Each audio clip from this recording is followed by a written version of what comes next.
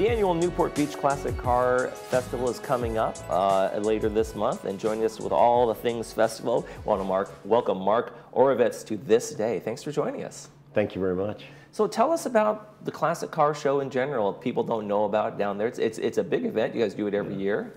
So we're the Knights of Columbus, and uh, one of our big things is, is charities. We're, Mm-hmm. we're probably one of the larger charities in Newport Beach. We support 10 or 12 charities that people would know in the area, Be Well, a lot of homeless stuff, Meals on Wheels, Mm-hmm.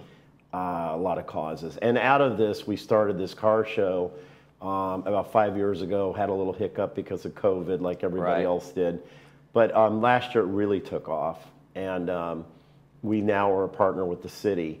Um, uh, it's it's kind of funny, cliche that we're here talking about this, but if you know anything about classic cars, you realize that, that the demographics on the on the age group of classic cars is quite older. It skews older for sure. And because they're losing some steam as far as number of people interested, enthusiasts in that area, um, we decided this year to add a snow and surf expo to it. The idea about that is bringing in younger people, families um, who likes snowboarding, skiing, surfing, all types of outdoor things. Now, on the Friday night, it's going to be October 27th, 28th, but the show's really the 28th. But 27th, you guys are going to do a trunk or treat, which is also going to maybe bring some kids out, right? Tell us a little bit Yeah, about well, that. so we have a trunk or treat at the Newport Pier. Uh, it's from three or yeah, four to ten o'clock, and uh, we're going to have trunk or treat in the cars for kids, Mm-hmm. and for adults, we're going to have a um, uh, a bar crawl at three different bars: Blackie's, Helmsman, and the Alley. Is that a good way to kick it off? It's going to be it's going to be a lot of fun. But we, we think it'd be, it'll be a great way um, to be involved in the show. And if you show up and you're not registered and we're not sold out, then we might have an opportunity right there for you to register your Okay, car or truck. so people can register. How about volunteers? You guys need, I imagine this takes a lot of work, Yeah. not just the Knights of Columbus, but maybe kind of the community to get involved in this. So this year we launched a volunteer program.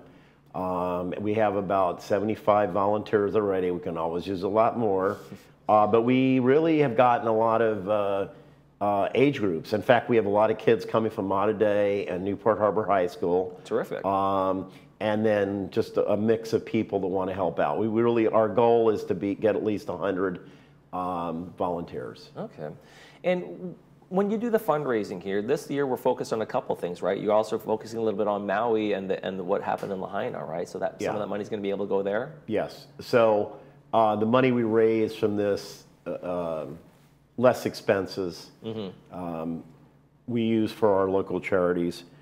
We're also involved in Mau- Maui relief, relief effort, which, by the way, uh, the main effort the day after the fire, when you saw the boats, the jet skis, bringing stuff stuff into the harbor, is the Knights of Columbus in both Maui and um, Oahu. Wow.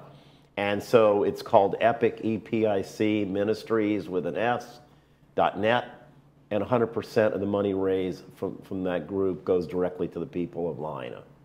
How did you get involved in Knights of Columbus and making all this, the car show happen and all of that? Mm. I was married to an Episcopalian for 24 years. I didn't go to the Catholic Church. I got divorced. Uh, my father was a Grand Knight, and I was raised Catholic. So when I moved back to Newport Beach, I decided to get back into the church and become a Knights of Columbus. And it's probably one of the greatest things I ever did. Yeah, amazing, amazing organization. A lot of the things they do, uh, it's absolutely terrific. Are you a big classic car buff yourself? Do you have one? Do you know I don't have one right now, but I like I like cars. Most guys like cars. I had some really cool cars in high school with a lot of lot of motor to them. Uh, but I, I like the cars for sure. Yeah, and I think one of the things, uh, you know, like you said, it does skew older. But when you have like the family events, like you said, the, the, the fun, the sledding that's going to be going on, the trunk or treat, you know, and parents bring the kids, that also kind of gets them excited about classic cars at a younger age, right? Yeah. So we have a we have a, a, ch- a children's area. We have a bike parade, a Halloween bike parade sponsored by I think Electric Bike Company of Newport Beach. Uh, face painting, balloons, all types of stuff for kids. So it's a it's going to be a real family event.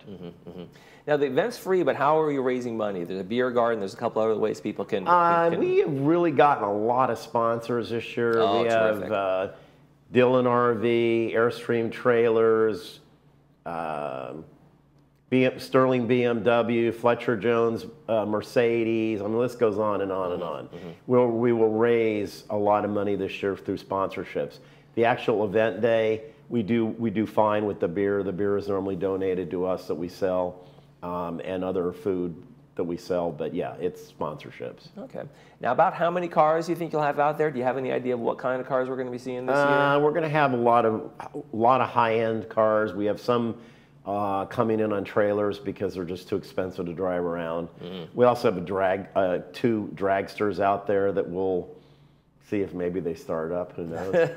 um, and um, we have room for 183 cars, and it's almost sold out right now. Okay, so we're getting close to that. So if people want to know more about, they should probably go to the website, which I think we have a we have a thing of that, so people can go there, find out more volunteer information, find out about that, how to get involved, and that kind of thing. Um, what's the most important thing people should know about what you guys do over there in, for, in terms of the Knights of Columbus and and doing these kind of fundraising events? Our heart is in the community. Yeah. We really believe in helping people out. Um, I, I- think that it just goes through our whole, whole organization that we care about our backyard. We care about a lot about homelessness. We care about kids, but we care. So um, it's just it, I'm it, I'm really honored to be able to be, be part of the organization. And it takes a lot of people to do this, and I know you have a lot of volunteers, a lot of folks. Um, one before we go, I want to go through it one more time. Tell me all the details we need to know to get out to the Classic Car Show this year. Okay, so it's on the website. Right. Uh, you come down. You can come down to the, the pier area between four and ten o'clock at night, or that whole area for the trunk or treat. In the morning, it starts at eight o'clock. We have, I don't know, 50, 60 um, arts and craft vendors.